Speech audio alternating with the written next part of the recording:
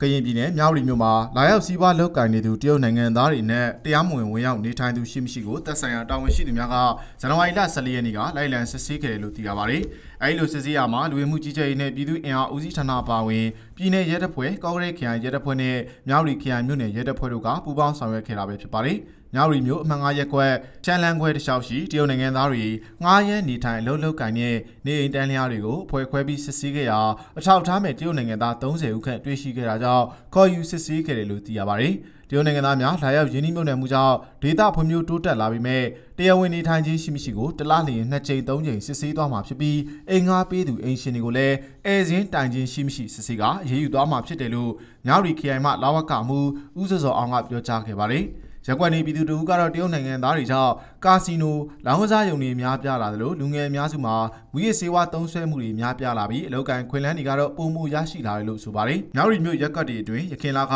တရုတ်စာတန်းပါဆိုင်းဘုတ်တွေကိုရှင်းလင်းဖယ်ရှားခဲ့တယ်လို့ယခုအခါမှာတရားမဝင်နေထိုင်မှုရှိမရှိကိုလစဉ်စစ်ဆေးသွားမယ့်အစီအစဉ်ကိုဆောင်ရွက်လာတာပဲဖြစ်ပါတယ်။မြောက်ရီမြို့တောင်ရင်ကန်ဆယ်တစ်လျှောက်မှာကာစီနိုလောင်းကစားရုံတွေကိုရခင်ကထက်ပုံမှုများပြားလာသလိုမြို့ရင်းမှာဂိမ်းရုံတွေလည်းပြန်လည်ဖွင့်လှစ်လာတာကြောင့်လူငယ်တွေကြားမူရစ်ဆေးဝါးသုံးစွဲမှုဟာလည်းရခင်ကထက်မြင့်တက်လျက်ရှိနေရလို့ဒေသခံတွေရဲ့ပြောကြားချက်အရသိရပါတယ်